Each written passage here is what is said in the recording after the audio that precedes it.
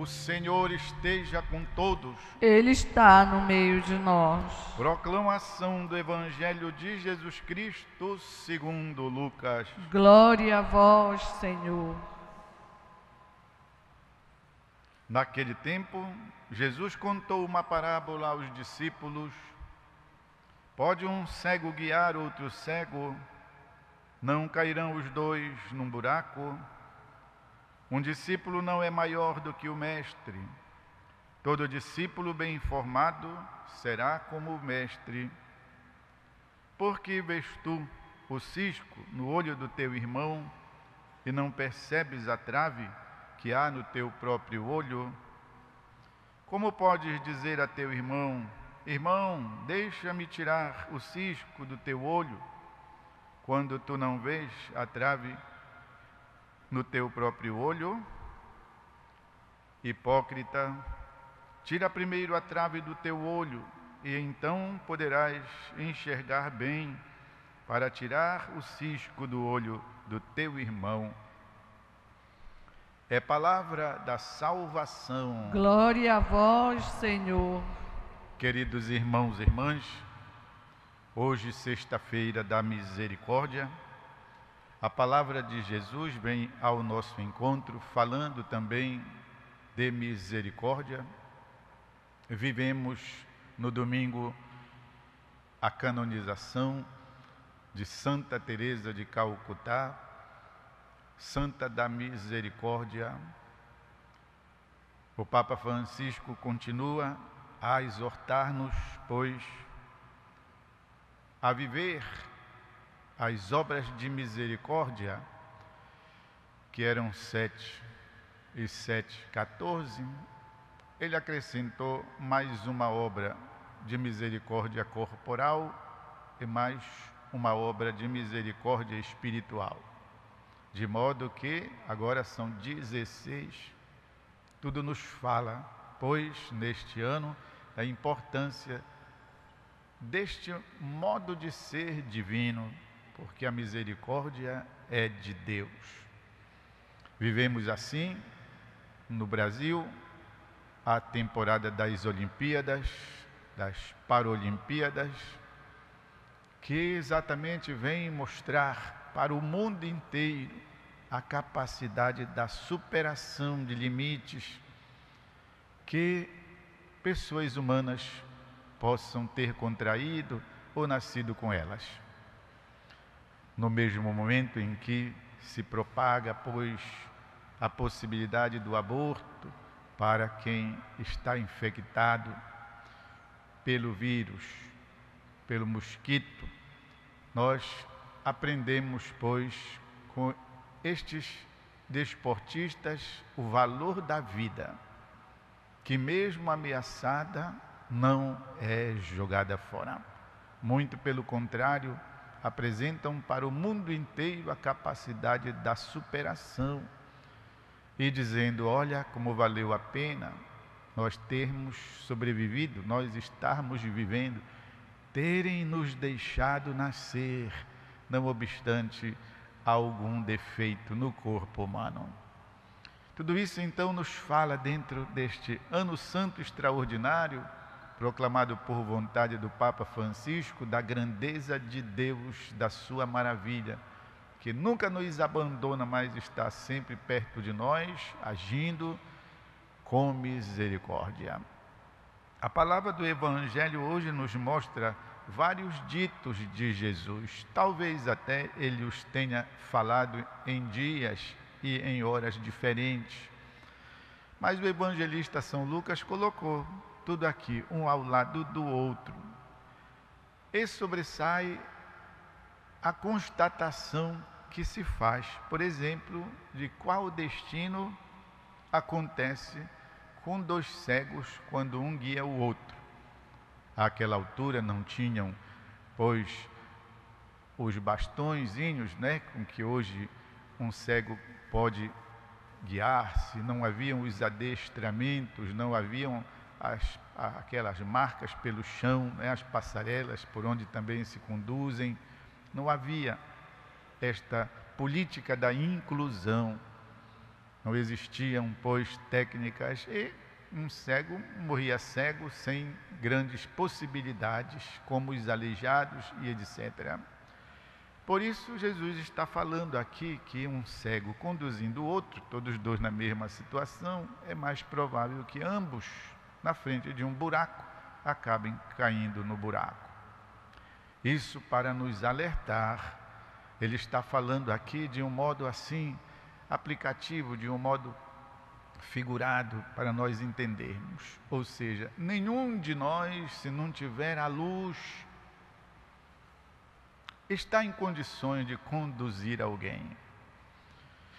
Algumas vezes não conduzimos direito nem a nossa própria vida, nem os nossos próprios comportamentos. Como é que queremos servir de guias para outros? Jesus diz, né? Não pode um cego guiar outro cego não cairão os dois no, no buraco.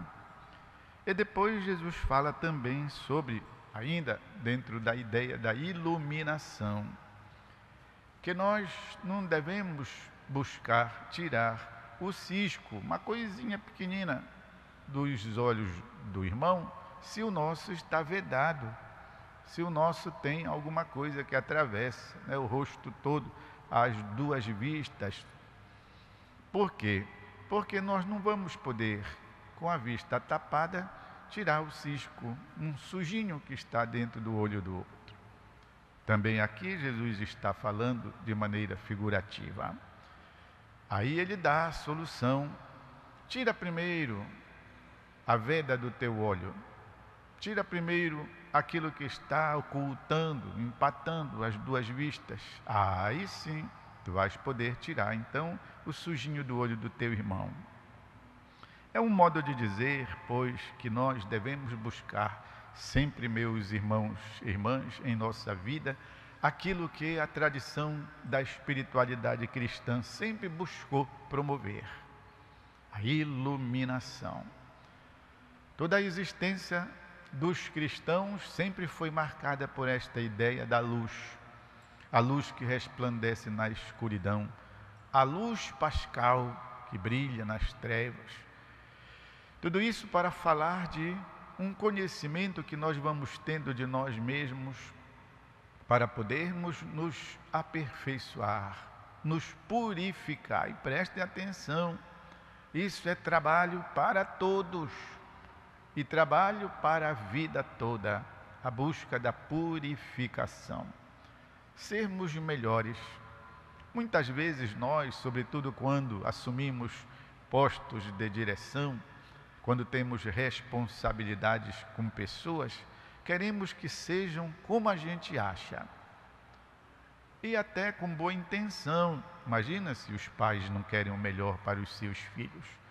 Imagine se uma pessoa responsável, superior do convento, ou alguma coisa assim, o chefe da repartição, não quer o melhor para os seus. Quer sim, mas nem sempre isso é possível.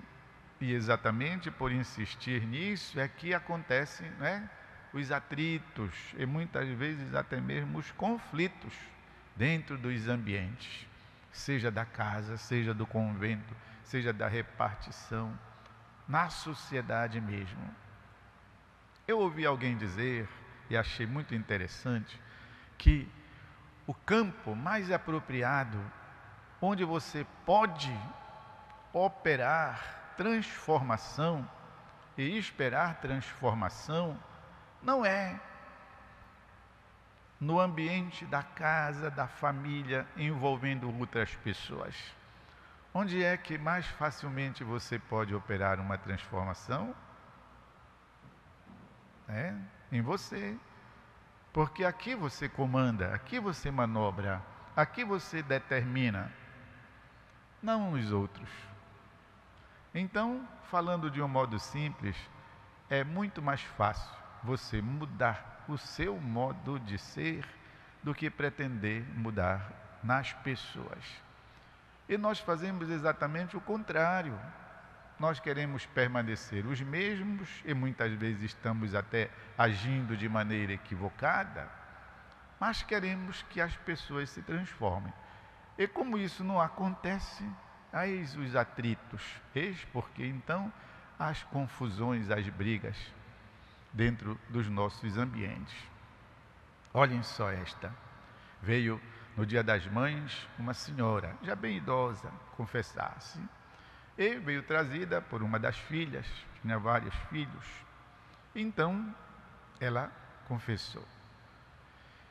Não faz mal revelar o pecado. Não sabemos quem seja e não é uma coisa pecaminosa, é uma coisa edificante. Olhem só, depois de dizer os seus pecados, pecado de idoso, é aborrecimento, é porque os netos não fazem mais como a gente educou, os filhos já não prestam a mesma atenção e também não vivem mais a fé.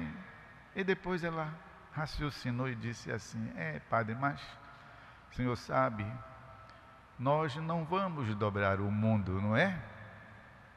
Aí eu achei aquilo tão interessante, né? E perguntei: Nós não vamos, vovó, dobrar o mundo? Ela disse: Não, o senhor não sabe que nós não vamos dobrar o mundo? Não é interessante, meus irmãos e irmãs? Ou seja, uma pessoa de idade se dando conta das contrariedades da vida, mas que ela não iria solucionar o problema do mundo. Ou seja, a gente se aborrece, mas nós não vamos dar conta. Por isso, a coisa mais própria é nós mudarmos a nós mesmos, nós nos transformarmos, nós nos convertermos. E se isso acontecer, já está de boa medida dentro dos ambientes alguma coisa boa vai acontecer se nós mudamos o nosso modo de agir, o nosso modo de ser, nosso modo de tratar as pessoas. Porque, na verdade, muitas vezes o que nós queremos é dominar. Ainda que com boa vontade, mas melhor das intenções, mas nós queremos dominar. Que as coisas sejam como nós queremos. Isso vale tanto para o casal, né, para os cônjuges, um quer que o outro seja como ele quer, como ela quer. Isto serve para a paternidade, a maternidade. Isto serve para os superiores responsáveis de instituições, de repartições, enfim, do trabalho. Vamos então, meus irmãos e irmãs, buscar seguir o conselho de Jesus. Tira primeiro a veda que está na tua cara, e depois, aí sim, com clareza poderás tirar o ciscozinho que está no olho do teu irmão. Meus irmãos e irmãs, o Evangelho, ele nos ensina também a viver nesta terra.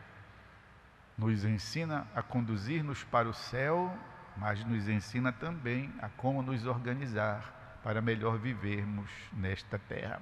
Eu agora gostaria de pedir que nós fizéssemos assim um instante de silêncio, breve, mas que alguma mensagem a partir da palavra pudesse cair dentro do nosso coração.